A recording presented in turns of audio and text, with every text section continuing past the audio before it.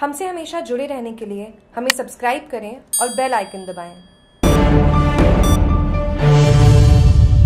वृक्षारोपण कर किया पर्यावरण बचाने का संकल्प, कस्बे के राजकीय उच्च माध्यमिक विद्यालय सिलधर में प्रधानाचार्य हरिराम परिहार के नेतृत्व में अशोक के पैंसठ, वोगन विलिया के पंद्रह, रोहिड़ा के दो, प्लास के दो, बरगद के तीन, सीताफल के पाँच, गुलर के दो, आम के पाँच, गुड़हल के दो कोनोकॉर्पस के दो गुलमोहर के दो शीशम के दो, कनेर के 10 इत्यादि करीबन 150 पौधे विद्यालय परिसर में लगाए गए। पीयू परिहार ने बताया कि शिक्षकों की नई पहल करते हुए पर्यावरण संरक्षण एवं बचाव हेतु वृक्ष लगाए गए हैं और उनके संरक्षण की ज़िम्मेदारी ली।